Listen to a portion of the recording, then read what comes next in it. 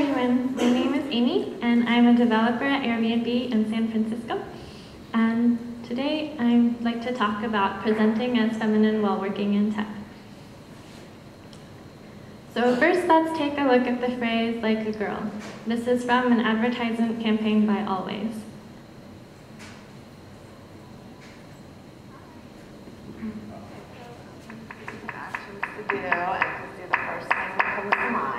Show me what it looks like to run like a girl. The hair.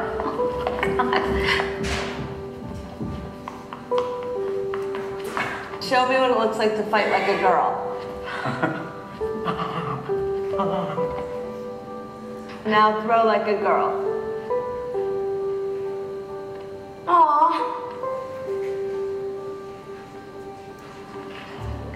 My name is Dakota, and I'm 10 years old.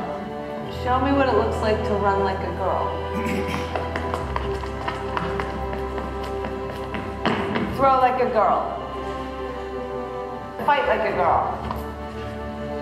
What does it mean to you when I say run like a girl? It means run fast as you can. So heartbreakingly at some age, we become convinced that doing anything like a girl means that you are doing it ineffectively, wimpily, and in a way that can't be taken seriously at all. What then does this mean for women and non-binary people who work in technology and present as feminine? What does it mean for those of us who code like girls? So one category of things I deal with all the time from presenting feminine in tech is no one believes that I'm a programmer. I can't tell you how many people, when meeting me and hearing my profession, tell me that I look like a designer, someone in accounting, someone in marketing, anything but a programmer. I have been a TA for weekend workshops that teach women how to code. I've had male co-TAs ask me how I was enjoying learning to program. Apparently, presenting as feminine makes you look like a beginner. It's very frustrating, it's very frustrating that I will either look like not a programmer or look like a permanent beginner because I have programmed since age eight. I have basically always wanted to be a programmer. I have received undergrad and grad degrees from MIT. I worked as a visiting researcher in Honda's humanoid robotics division in Tokyo doing machine learning research on Asimo. And I'm not saying these things because I feel like they make me a better programmer. I'm saying these things because I feel like if a um, straight, white, cis man had all of these qualifications, no one would ever be doubting whether he was a programmer or not. So Tracy Chow, an, interest, an engineer at Pinterest, shared this story with me.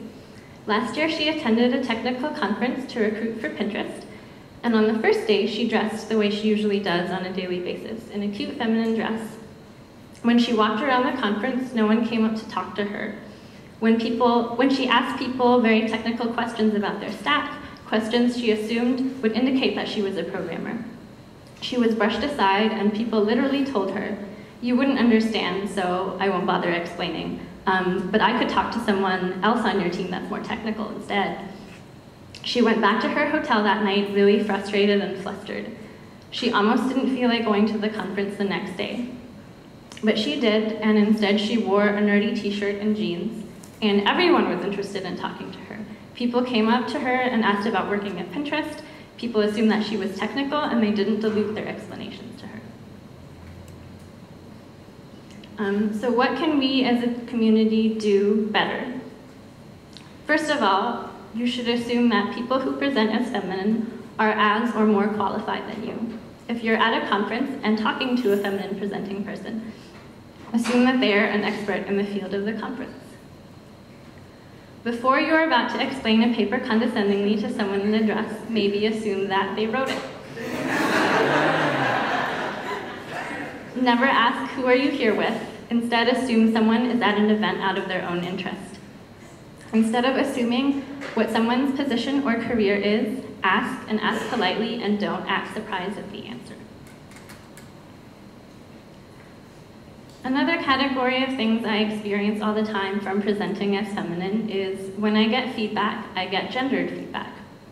I remember giving project presentations during college We'd receive feedback from peers, and the professor would also hand out awards for the projects and presentations they thought were best. Despite several times getting awards from professors on my presentations about deduplication algorithms for backup storage or face recognition algorithms for image processing class, this was the kind of feedback that I always got from my peers. From my peers. Why are your slides so pink? It's very distracting.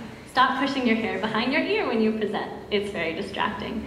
Your voice goes up after every sentence you say, as well as comments rating my appearance. Um, I also talked to Liz Rush, a new programmer who graduated from the Ada Academy at Ruby Conference last year. In her year of giving talks about tagging civic data with her project partner, who was also an Ada Academy graduate, she talked about how her most frequent feedback was statements like, I really liked your outfit, and you're so pretty, instead of comments about the actual content of the presentation. One person started asking her a technical question after a presentation and then changed their mind saying, actually, let me ask your partner instead about this. I think she might have more to contribute. Liz's partner is a woman who doesn't present as feminine while Liz does. These experiences have made Liz decide that she doesn't want to give as many talks next year, or maybe only in women-only spaces. And that's a huge shame for this community. We can do better. What are some things that we can do better? We can give feedback based on content versus presentation style. And when you think of something just as distracting in their presentation and are thinking of giving that as feedback, do you really just mean that you are not used to seeing that in a presentation because you're not used to seeing feminine people present? And ask yourself, would you give this feedback to a masculine presenting white cis man? And by doing these things, hopefully we can show women that um, we value them for their achievements. Another thing that feminine presenting women and non-binary people have to deal with that other people in tech don't have to, the tightrope walk of professionalism and fashion when deciding what to wear to interviews or presentations. I've seen women tweet before their first technical presentation. Wearing a dress is out of the question for this, right? Women worry that if they wear dresses when they present, they might not get taken seriously or that they might receive unwanted comments or advances. I've also read so many internet advice columns that recommend to women, women, don't distract from your own presentation. Dress nicely, but not flashily. I've seen women worry that if they wear makeup or dress up, that they're not being feminist, and I've seen feminists chide women who present as feminine. It's one kind of progress for people to agree with a statement, women can be anything they want.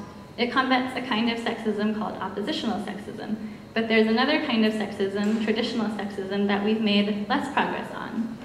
You could get more people to agree with the statement that women can be anything than to agree to the statement that femininity is as valuable as masculinity.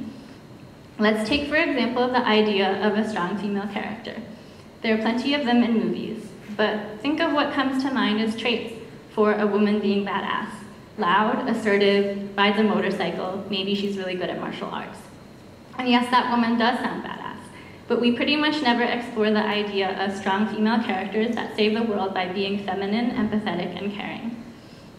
This is also part of the problem of lean in. Women should feel free to be assertive if that's their personality, and let's celebrate that instead of criticizing it, but let's also celebrate people that display leadership by empathy and encouraging.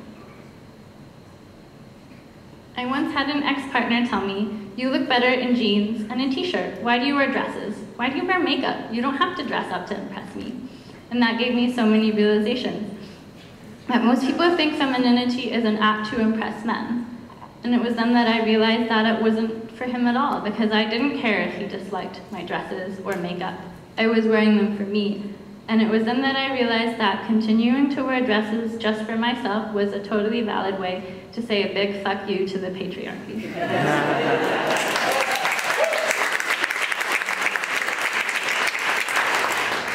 so I'd like to say